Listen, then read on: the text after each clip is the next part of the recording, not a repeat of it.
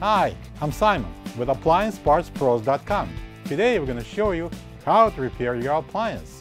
Are you ready? In this video we'll show you how to replace the roller bearing cage in a GE dishwasher. It's going to be a very easy repair, should only take a few minutes to show you how to do it. For this job we're going to need a small flat blade screwdriver and a large flat blade screwdriver. When we open up the package, you're going to get a new roller bearing cage.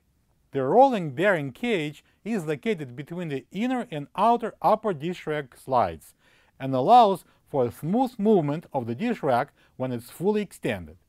The main reasons why a roller bearing cage would need to be replaced is if it breaks and the ball bearings become loose, causing the dish rack to jam. Let's start with opening the door. Pull out the upper dish rack. Using the small flat blade screwdriver, Open the locking tab on the side of the dish rack stop and take the stop off. Repeat the procedure on the opposite side. After we remove the stops, we can slide the upper dish rack off the rails. Push the inner slide in. Using the large flat blade screwdriver, push open the locking tab and then take off the rear dish rack stop. Pull out the inner slide. Grab the edge of the bearing cage and remove it from the outer slide. If you wish to replace both rolling bearing cages, use the same part number. This is the old roller bearing cage next to the new one. If you don't have this part, you can get it from appliancepartspros.com. Before installing the new rolling bearing cage, we need to bend it to shape. Bend the sides 90 degrees so the little protrusions are inside the cage.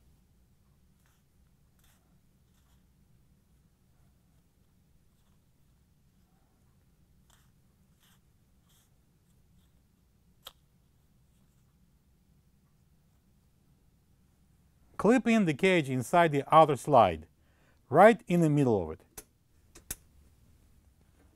Place the inner slide in and install the rear dish rack stop.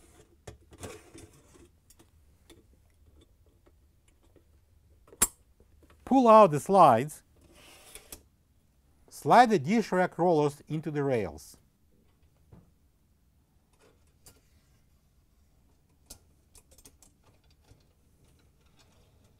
Install both dish rack stops.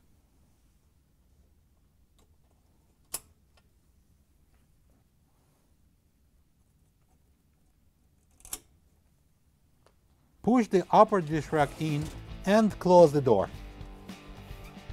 Looks like we're done with repair, no more dirty dishes. Thank you for being a part of another successful repair brought to you by AppliancePartsPros.com. For any of your future appliance repair projects, please check out our other repair videos available on our site, on Facebook, and on YouTube.